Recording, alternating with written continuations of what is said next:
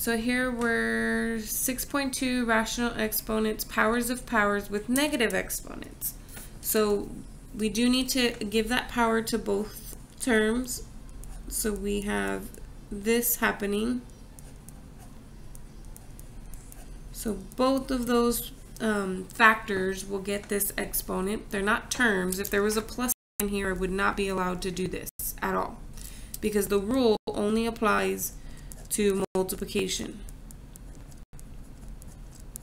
Okay, it does not apply for when there's a plus b inside the parentheses. So then here I'm going to multiply these exponents together because that's the power to a power rule. I get negative 5 thirds and then if I multiply this one I get negative 2 over 15. Now the only thing is, is they don't want me to write my answers with negative exponents. So that means this one is going to be 1 over x to the 5 thirds. This one's going to be 1 over y to the 2 fifteenths. And then if I combine it into one expression, we get 1 times 1 is 1, and x to the 5 thirds power times y to the 2 fifteenths power. And this is the final answer.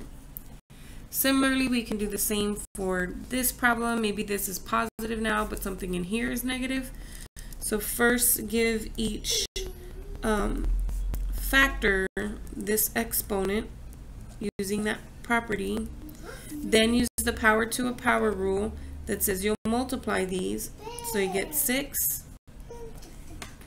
And then you get um, negative 3 over 10. And now one of these has a positive exponent and the other one has a negative exponent. So the one with the positive exponent will stay put, but the one with the negative exponent will have to go to the denominator. So then now both of the exponents are positive, and so this is my final answer.